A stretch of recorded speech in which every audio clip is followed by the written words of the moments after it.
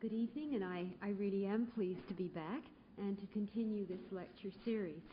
I was uh, uh, interested in the experience of having a talkback session this afternoon uh, when I understood from Dr. McCrae what the uh, sessions might entail.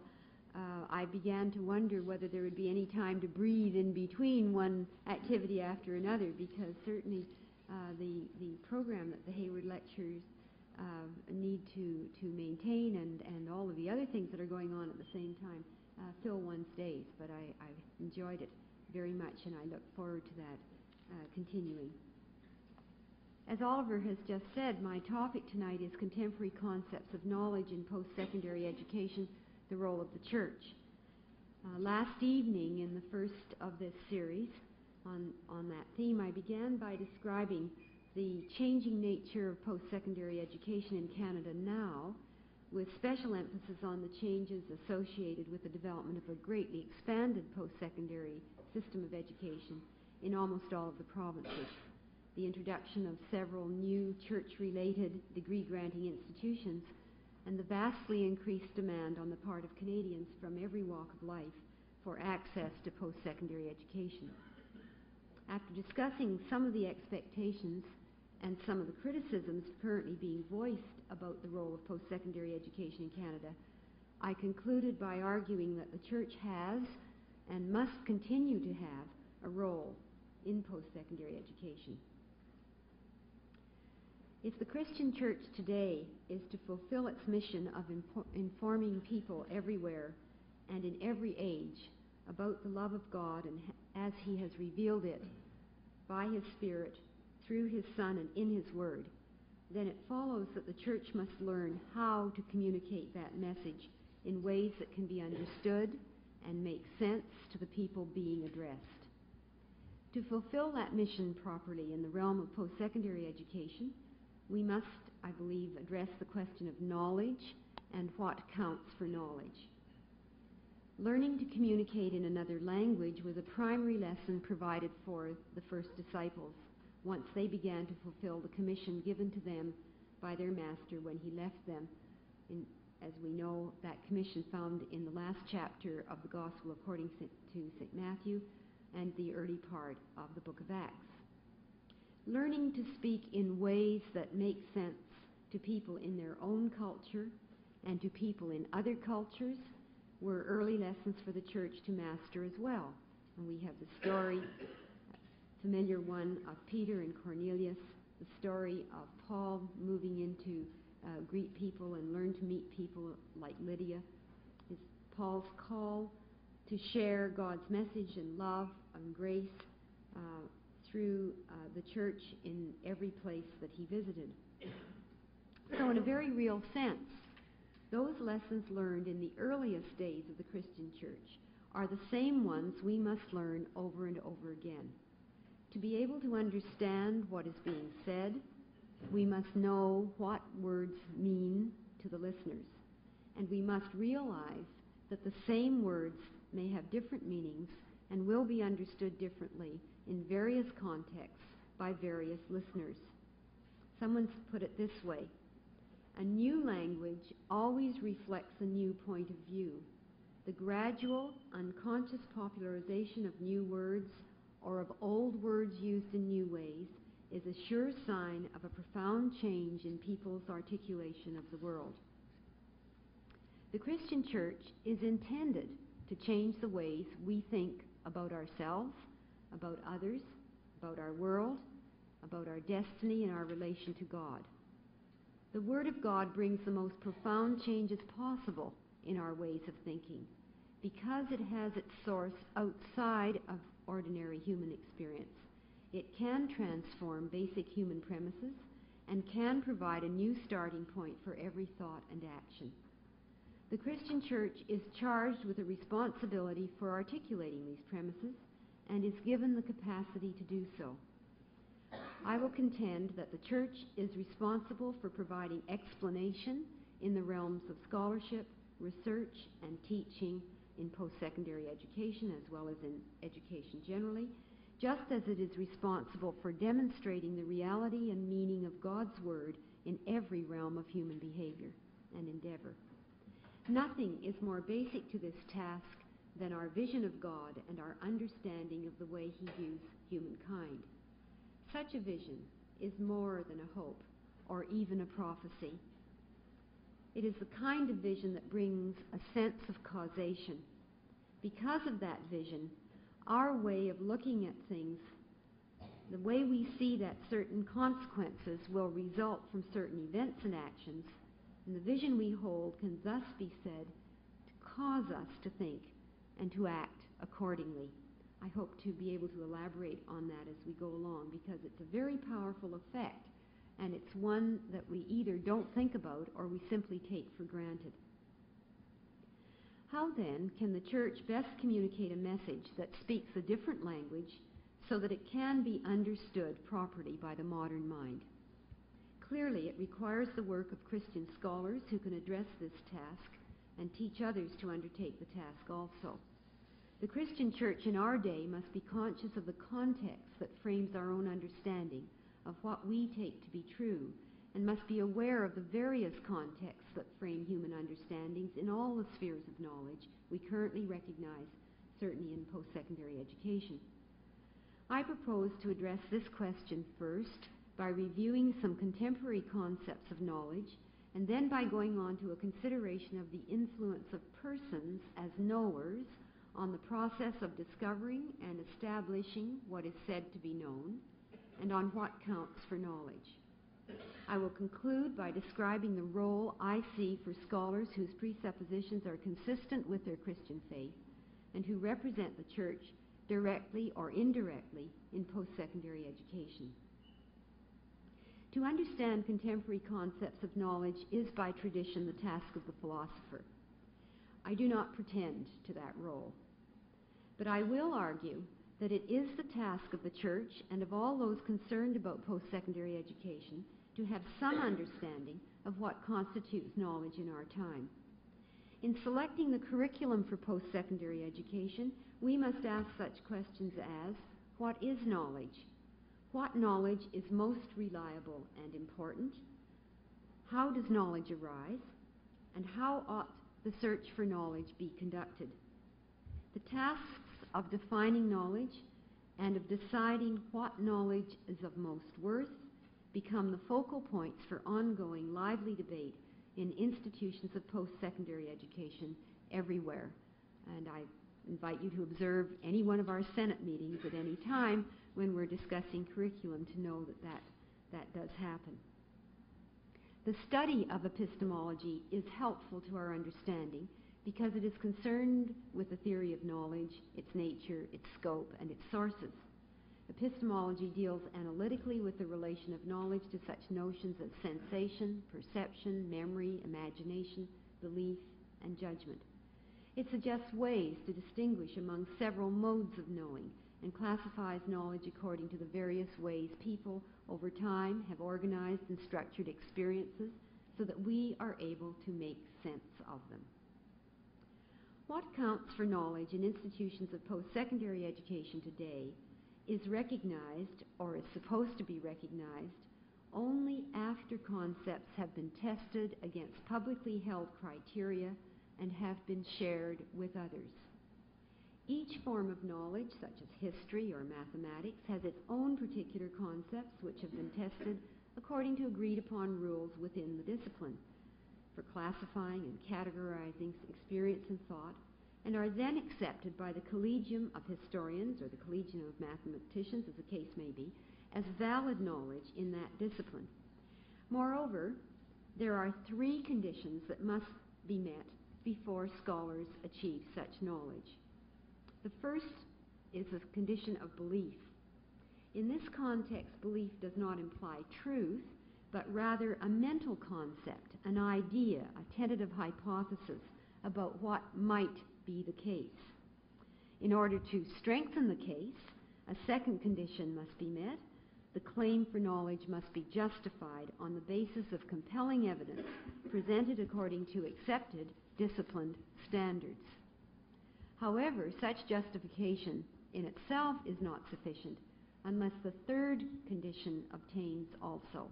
The condition of truth. The claim for truth is not merely a matter of agreement among friends, but is a matter of testing against what is the case about the world, about God, about a work of art, about a moral action, and so on. Thus, ways of knowing vary according to people's beliefs and perceptions about the nature of things, and conversely, what people believe about reality depends on what they count for knowledge.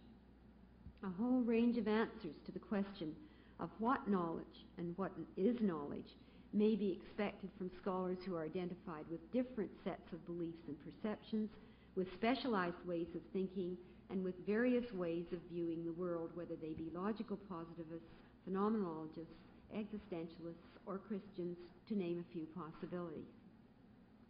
In institutions of post-secondary education, we acknowledge distinctions among ways of knowing by organizing scholarly research and teaching according to the special skills and ways of thinking that have come to be associated with each discipline or field of study. According to the Encyclopedia of Education published a few years ago, there have been 35, approximately 35, general schemes proposed for classifying kinds of knowledge since Plato. Each classification scheme takes as a premise that distinctively different kinds of knowledge are attainable. Some of the schemes have been designed to ensure that bridges will be formed between these islands of specialized knowledge. Many are intended to assist in determining the gaps in knowledge that remain and ought to be addressed. And from time to time, in a popular way, we hear about those gaps, particularly from the physicists and the astronomers. It seems to me the physicists are always finding smaller and smaller particles of matter and energy, and the astronomers are finding more and more black holes or, or whatever um, in, in their uh, scanning of the universe. For this evening's lecture, however, I've selected three different types of classifications of knowledge as examples of the ways we human beings manipulate our ideas. Each scheme has its proponents, and of course it has its critics. None, none, no scheme is entirely satisfactory, and when revolutionary new ways of viewing reality within fields of study are suddenly adopted by a majority of scholars, as in what has come to be called a paradigmatic shift, changes in these schemes of things are made in comparatively short order. The first classification I will describe is based on modes of knowledge and experience. The second cuts across different fields of knowledge by regrouping the major disciplines and the third is an attempt to classify knowledge according to its objects. And these are just three examples to try and share with you what does go on. Classification of knowledge according to its distinctive forms and experience, and the distinctive type of test it uses for its objective claims is an approach closely related to the one that we're really familiar with. Scholars use it in each of today's familiar disciplines. I've taken uh, a good deal of my uh, thinking from two British philosophers, Hirst and Peters. Uh, these two philosophers worked together and selected seven areas of knowledge which they claim are not reducible to another form. Now, philosophers will argue this, and I began by saying I don't pretend to be a philosopher. I do try to make sense out of what I have to do in education, and, and I found their, their thinking helpful. Um, the areas that they have identified are these. Number one, formal logic and mathematics. Number two, physical science. Number three, the human mind, including interpersonal experience and knowledge. Number four, moral judgment and awareness. Number five, aesthetic experience. Number six, religious experience. And number seven, philosophical understanding. It's likely intended to be in order of importance. Hirst and Peters have described each of these areas in terms of the concepts it encompasses and the tests used by scholars in that area to satisfy its claims as knowledge. For example, concepts in the physical sciences have to do with notions of space, time, and cause, while concepts in the area of interpersonal experience have to do with such notions as believing, deciding, intending, hoping, and enjoying. However, while each mode of knowledge is distinct from any other form, there is a pattern of interrelationships among them. For example, the domain of science is dependent on mathematical knowledge, scientific discoveries lead to moral dilemmas, Some religious claims presuppose historical truths, others demand moral understanding. Hirst and Peters have argued that the development of knowledge and experience in any one domain may indeed be impossible without the understanding and awareness gained from another. And they summarize their argument as follows. I'd like to quote from them. It thus seems that the form of interrelationship between the independent domains of knowledge and experience can only be properly understood by recognizing first the basic differences between them, and then by seeing how they are interlocked when one domain employs elements of another without any loss to the independent character of each. All of the classifications of knowledge, according to discipline domains, depend on the employment of disciplined insight by the inquirer. Each discipline provides a different way of seeing the world. It sharpens the mind in advance so that insight is thought to come at the end of a process of experience in a certain field of study and not at the beginning. Michael Polanyi refers to this way of knowing as tacit knowledge, and such perception as he describes the outcome of an active shaping of experience performed in the pursuit of knowledge. This shaping or integrating, he says, I hold to be the great and indispensable tacit power by which all knowledge is discovered, and once discovered, is held to be true. When Michael Polanyi um, put forward these ideas to the Royal Society in England, he uh, was the center of much controversy because it was such a contrast in the way of thinking that there could be something that was purely objective fact and truth, that you could have distance from any of us and any of the kinds of, of biases and prejudices or ways of thinking that we have. And Polanyi stood up and said to his colleagues, there isn't any way that we as human beings can divorce ourselves from our ways of knowing. Well, the controversy that he began certainly raged for some time and probably is still uh, being waged in, in some circles, although more and more people have changed their ideas as we've uh, brought together more and more evidence of the truth of his, of his thinking. Since the attainment of real and valid knowledge depends on judgments made by people appropriate to the particular discipline, it should be stressed that the judge or authority upon which we can depend must have training and experience relevant to the problem at hand. We don't accept just anybody's judgment. Obviously, it has to be informed. The point I wish to make about the tacit knowledge that each person brings to the process of doing research or to the act of teaching or to the work of learning is a significant one. It requires conscious recognition by the proponents of a particular kind of knowledge and full understanding on the part of those who may be required to learn and to act upon that knowledge. It is well to remember the admonition, let the buyer beware, in the marketplace of ideas as well as in the marketplace of goods and services. It also emphasizes the limitations we impose on ourselves when we confine ourselves to perspectives on knowledge which do not take God into account. Jesus understood the thinking of the realistic Andrew and of the pragmatic Philip very well indeed when they were confronted with the problem of how to provide for an enormous crowd of hungry people. But he went beyond the materialistic and logical approaches they were dependent on to demonstrate that there are other ways of perceiving the same situation and other sets of presuppositions on which we can choose to base our actions. And I will return to this point later. Now, the second type of classification of knowledge, the one that we tend to use today, brings together major forms of discipline knowledge into broader categories.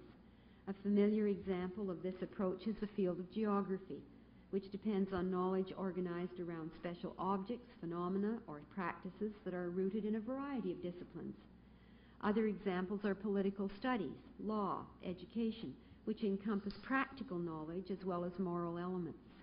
Still others examples are to be found in logical and philosophical studies based on the sciences of language and symbolism. A third illustration I wish to share with you of the way knowledge has been classified is one that distinguishes the different objects of knowledge, and I've taken this from the work of Elton Trueblood. He suggests that there are five ways of thinking about knowledge. One, the knowledge of bodies, or of all those things that are susceptible to measurement. Two, the knowledge of other minds through communication and through consciously shared apprehension of some part of the environment. Three, knowledge of one's own mind, achieved independently of the physical. Four, knowledge of values and universals, or all of those objects of knowledge that cannot be measured, such as truth or beauty. And five, knowledge of God, the knowledge that deals with a mind capable of creating other bodies. Now, the uses of these or of any other schemes of classifying knowledge are intended to help us describe what counts for knowledge and what does not. Judgments about what is or what is not knowledge within disciplines and across disciplines vary according to the group of persons who select the criteria for knowledge deemed to be acceptable. Therein lies one of the persistent problems confronting us in institutions of post-secondary education. Much of the modern attitude toward knowledge is strongly influenced by the criteria for knowledge held to be appropriate in the physical and natural sciences. In its heyday, this approach to knowledge was adopted by some as a kind of benchmark against which all other forms of knowledge ought to be measured, including the area of religious knowledge. If claims to knowledge made in other fields of study could not meet the same tests used in the physical and natural sciences, they were found wanting, even though the tests were not appropriate to these other fields.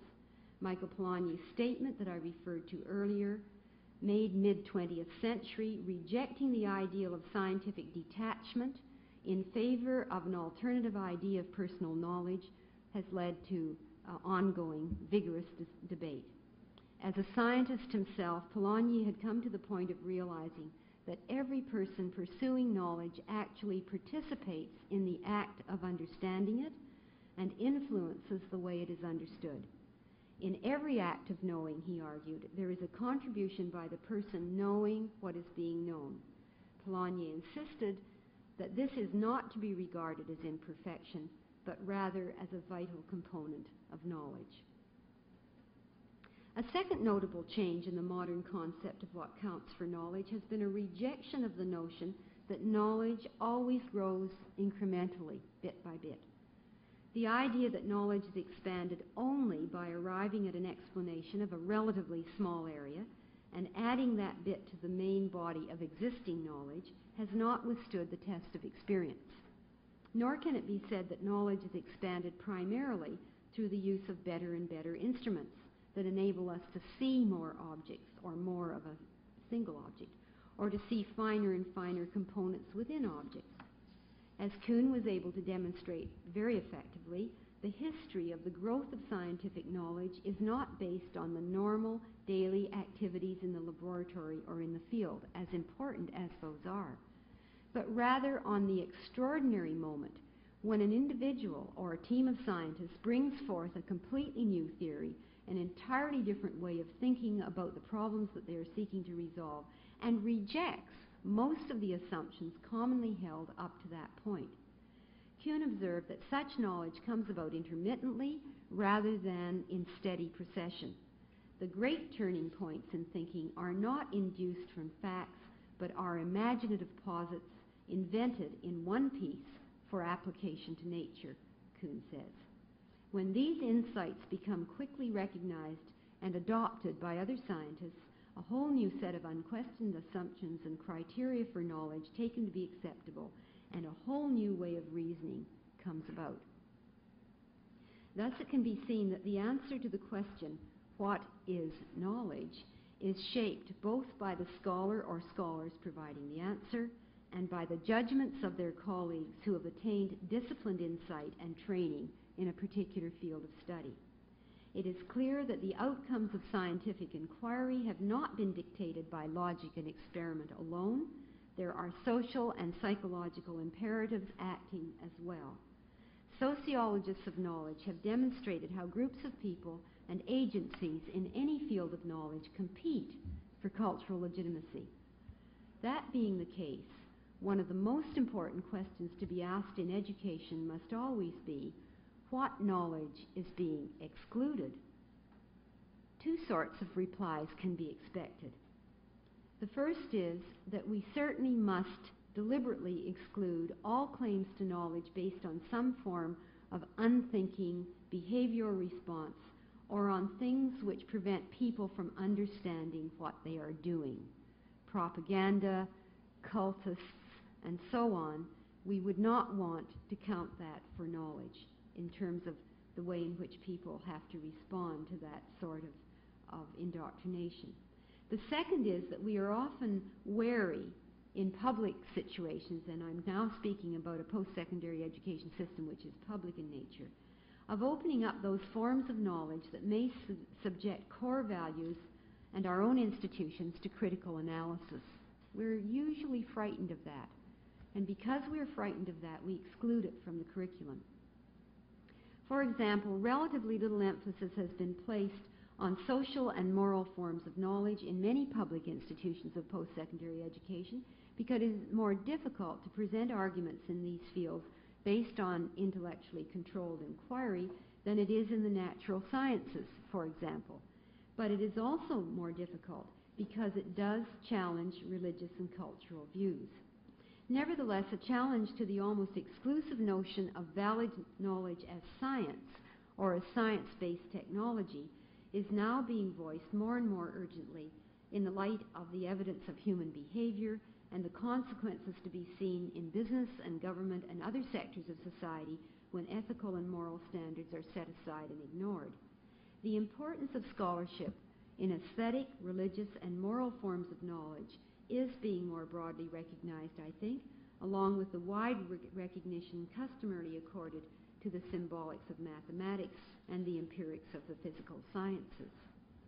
The contemporary concept of knowledge can be said to be characterized by a new humility that grows out of a greater awareness that error is possible in any of the forms of knowledge and a greater awareness that scholars must assume some responsibility for the uses made of the knowledge they generate through their research and their creative thinking. And that represents a revolution in our day, I believe. Bronowski, writing in uh, 1973, said, As a scientist, we are always at the brink of the known. We always feel forward to what is hoped. Every judgment stands on the edge of error and is personal. The recognition of the personal dimension in all knowledge is well understood by all who've experienced what is commonly described as religious conversion. This experience brings an entirely new understanding about ourselves, about our relationship with others, and above all, about our relationship with God, because it enables us to see things in an entirely new way. It gives us a different conceptual framework. Our perspective changes, sometimes quite suddenly, and sometimes more gradually. This new way of seeing things in relation to God, this new knowledge, is indeed a revelation to us, and it is a revelation that has been the experience of human beings throughout the course of history. It is the kind of knowledge that meets the three conditions demanded when assessing any claim to knowledge. First, it begins with a belief or a hypothesis about a God who is a creator and the sustainer of all life. Second, such knowledge is justified on the evidence recorded in the history of human experience, on its power to explain phenomena that cannot adequately be explained otherwise. And thirdly, the Christian's claim, if it is a Christian in this instance, claim for truth of knowledge gained through revelation has reliably been found to be the case by individuals and nations who have acted in accordance with the knowledge gained through biblical revelation and their understanding of God's revelation of Himself. To summarize, I suggested at the beginning of today's lecture that I believe it is essential to the mission of the Christian Church that it assume an active role in post secondary education for at least three important reasons. One, we ought to be able to communicate the truth as we know it in language that can be understood by our contemporaries. Second, we should be able to demonstrate how that truth not only fulfills the criteria established by reason alone, but also transcends those intellectual boundaries.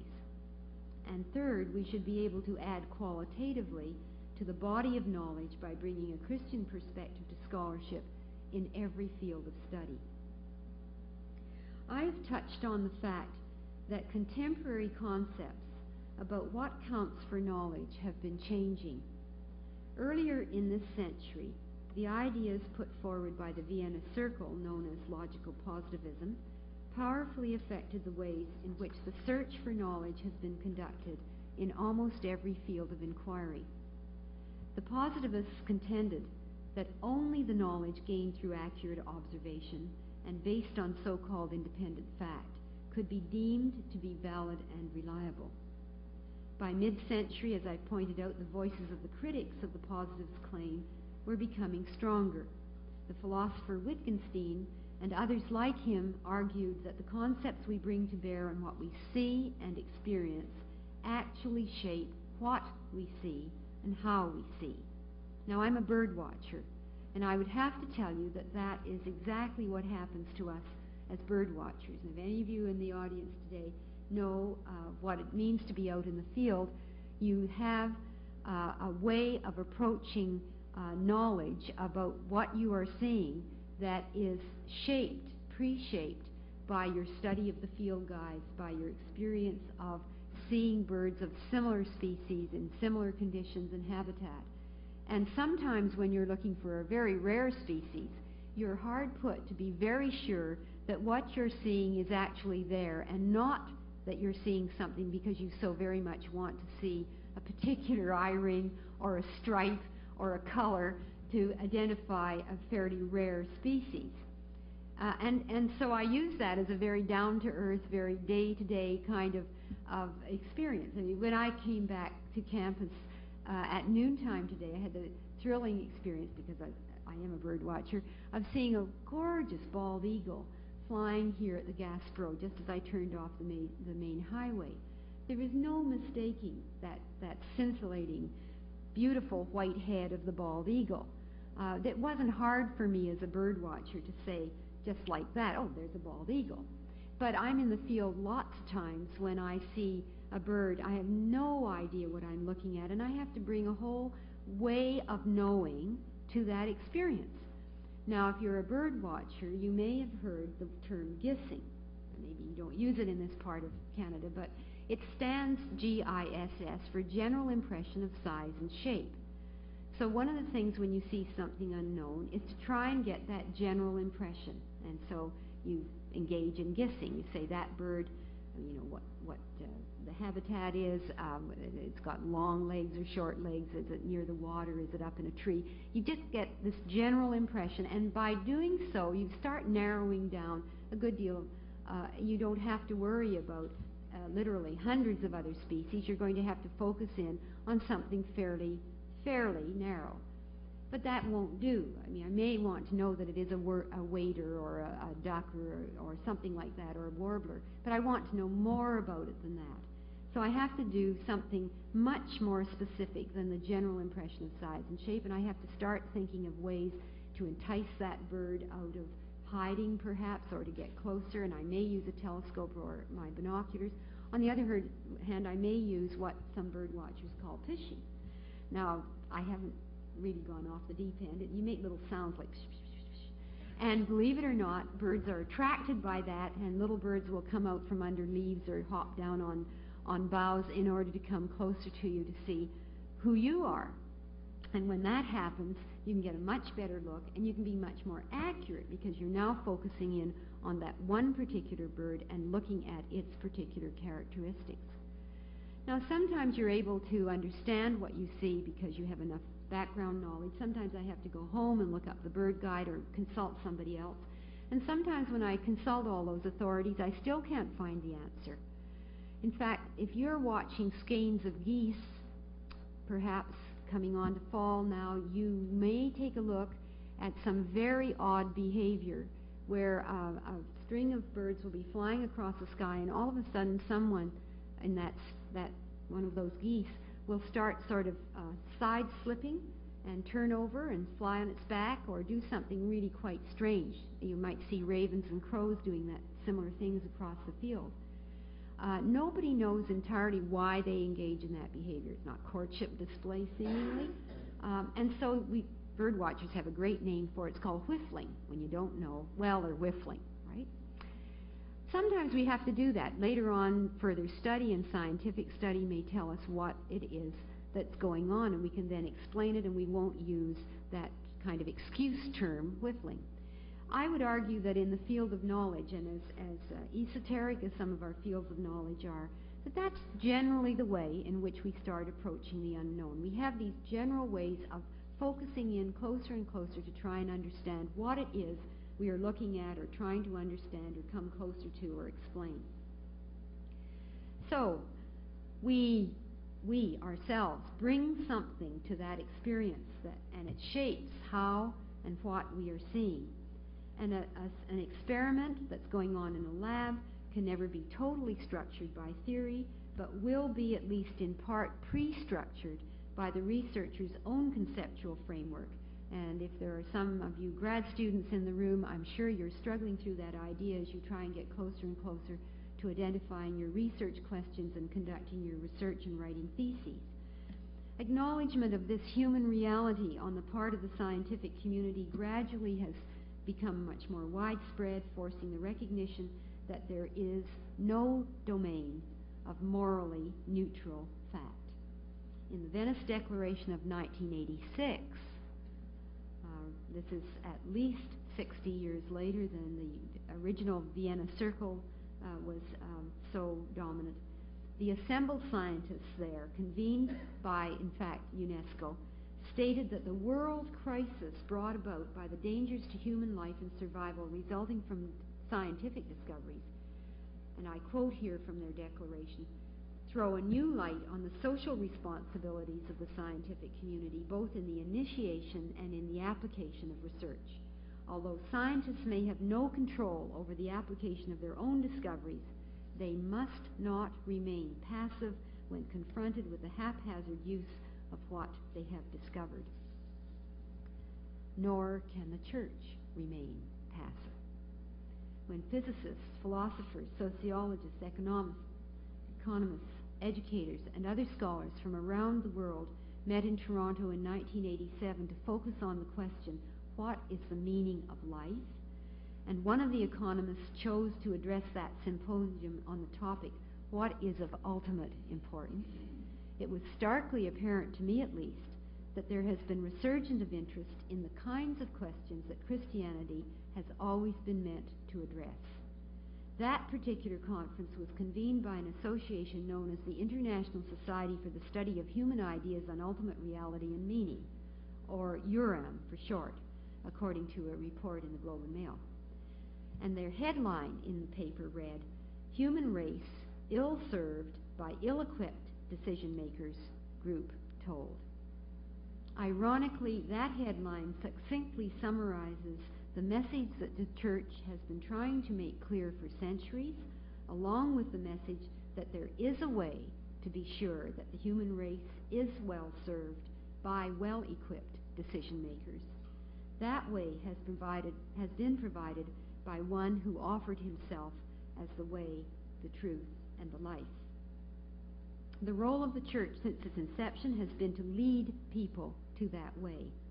One of the means of doing so requires the capacity to disseminate knowledge about reality and about God's ultimate purposes in a manner that can be understood and believed by scholars and researchers in institutions of post-secondary education and by the graduates of those institutions. How the church can fulfill this role through its members, individually and institutionally, are the subjects I intend to address in the two remaining lectures in this series. Thank you.